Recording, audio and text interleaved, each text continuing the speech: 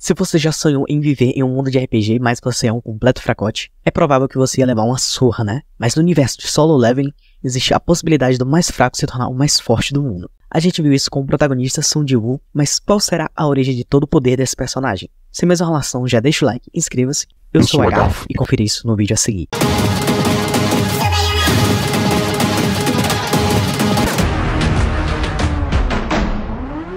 Sem um poder específico, o Son Ji-woo continuaria sendo alguém de rank baixo, mas ele conseguiu o poder de sair da ala dos mais fracos até chegar o mais forte, até chegar ao topo. E para você que não conhece Solo Leveling e tá pensando em começar a ler a obra ou então assistir, já deixo o alerta de spoilers aqui para vocês.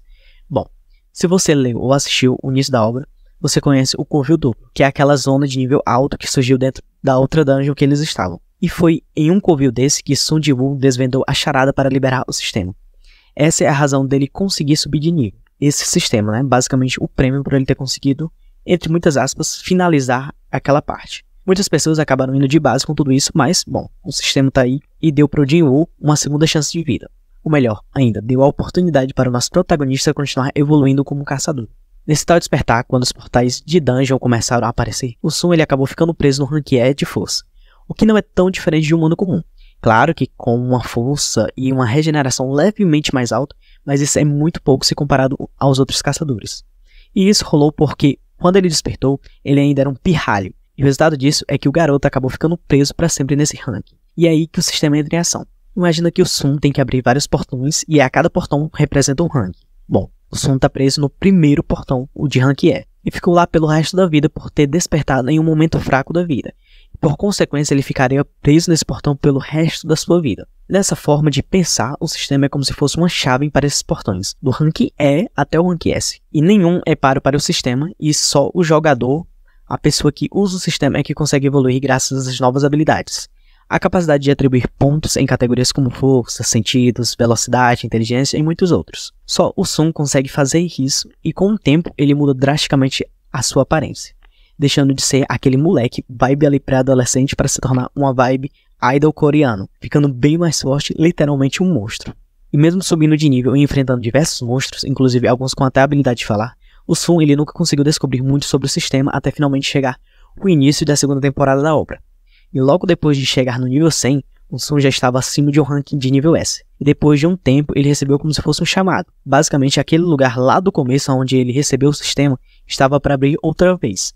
E essa era a chance dele descobrir sobre o sistema e meio que conseguir se vingar dos seus colegas que acabaram morrendo.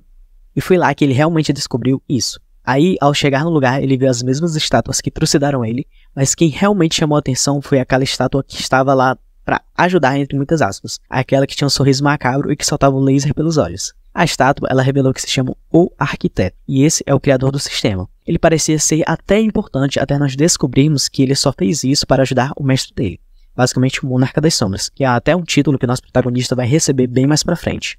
O arquiteto, ele deu para Sun um poder do sistema, para ele poder ficar forte e assim virar o receptáculo perfeito para essa criatura de outra dimensão, no caso, o Monarca. E basicamente todo o sistema que deu a temática de solo leveling foi criado só para que Sun possa ser dominado. Ele até recebeu um item que fechou o acordo entre o corpo do Sun e do Monarca das Sombras, que é o Coração Negro. Com tudo isso, o Monarca não quis o corpo de Jinwoo, ou melhor, ele deu todo o poder que ele tinha para o Sun e agora é difícil até segurar ele. Então a origem dos poderes de Sun Jong-un, de Solo Leveling, veio do Monarca das Sombras, quem criou o sistema e foi passando os poderes do Monarca. Para o Sun, aos poucos, foi o arquiteto, aquele mesmo boss do começo da obra. Quanto mais alto o poder do Sun, mais próximo ele fica do poder do Monarca das Sombras. E atualmente ele conseguiu até superar o sistema.